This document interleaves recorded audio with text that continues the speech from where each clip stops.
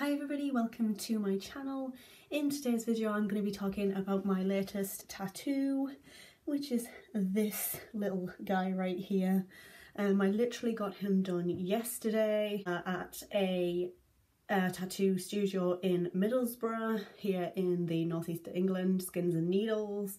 Skins and Needles is great, I really do like it there. There's some really talented artists. Um, Natalie did this particular piece if you are able to pop in to Skins and Needles to get something done, there are so many talented artists there and I definitely would recommend that as a really nice place to go to. As you guys might be able to see, because it's a bit awkward to show you guys, uh, but it is a magpie and he has like a little top hat.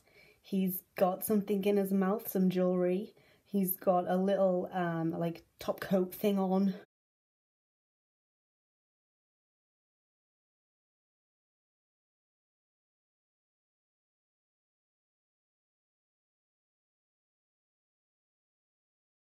So I have wanted a magpie tattoo for years and when I say years I mean like a long long time. Um, I love magpies, they're my favourite kind of bird and I've just always had this kind of weird fascination with magpies. This tattoo took just under five hours to do. Um, there was a lot of like little lines and there's a lot of little details that you don't perhaps notice straight away with this tattoo and that's what I love about Natalie's work.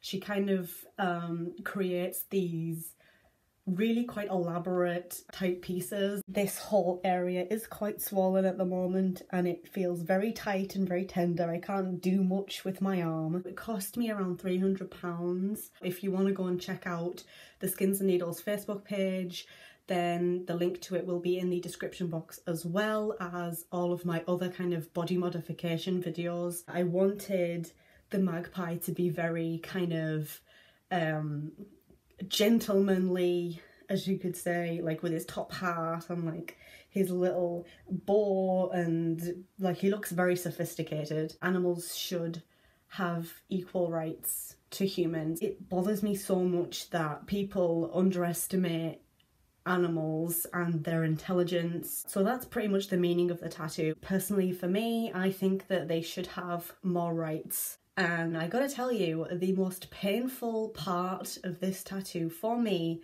was definitely this bit here, closest to my wrist, and this bit here. These bits, as she got further out, did get quite nippy and quite kind of stingy. For the lining, majority of it was fine, like the black outlining.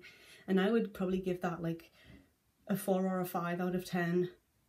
But then it got to the colouring and she was adding a lot of colouring. She was going over the same bits over and over again and it got quite uncomfortable. um, so for the colouring, I would definitely give it probably closer like an 8 out of 10 um, because it did get very uncomfortable for me. Like I said, uh, the Skins and Needles Facebook page will be in the description box down below.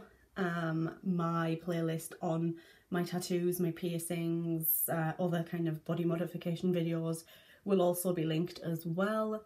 All I can really say now is thank you so much for watching. If you have any more questions about this tattoo, then feel free to comment down below. If you're new here, make sure to hit that subscribe button. And if you like this video, make sure to leave it a thumbs up. Thank you so much for watching and I will see you guys in my next video.